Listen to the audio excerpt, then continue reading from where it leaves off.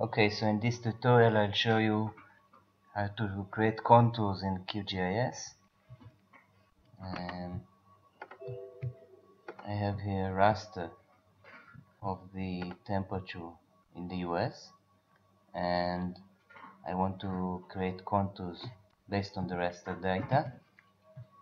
So the way I do it, I go to raster, extraction, contour, that's my input. Temperature raster this one. And my output is out cont let's call it. And sorry yeah that's the right directory. I have to define the intervals between the contours. And if I want an attribute, a field with the values for each lines, I have to define its name here. It's temperature.